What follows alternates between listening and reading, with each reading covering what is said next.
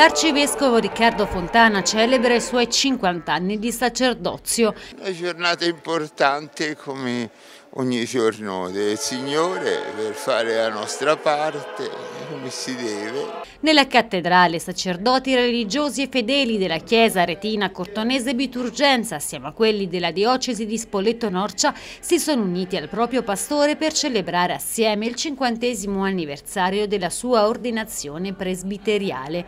Noi abbiamo pensato di vivere insieme a lei questi 50 anni di gratitudine in quella che voleva nascere come appunto una giornata per i sacerdoti che festeggiano con lei il sacerdozio. Una celebrazione durante la quale sono arrivati anche gli auguri e la benedizione per lo speciale traguardo raggiunto da parte di Papa Francesco. Franciscus Papa, venerabili fratri, Riccardo Fontana, archiepiscopo, episcopo arretino, cortonensi, biturgensi, Nato a Forte dei Marmi il 20 gennaio 1947, Monsignor Riccardo Fontana è stato ordinato presbitero il 2 luglio 1972 a Pisa dall'arcivescovo Benvenuto Matteucci.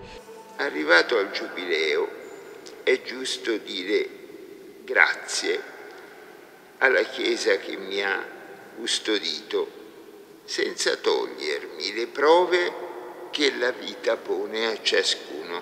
Fontana ha raggiunto il 75 anno d'età e ha già rimesso a Papa Francesco il suo incarico. A giorni deporrò la sedia curule, il faldistorio del vescovo, chiamato a reggere e governare la sua Chiesa. La nomina del nuovo vescovo della diocesi è attesa breve, anche se l'arcivescovo ha già deciso che continuerà a risiedere in città. Perché questa è la mia Chiesa e questo è il mio popolo e quindi io resto qua a fare la mia parte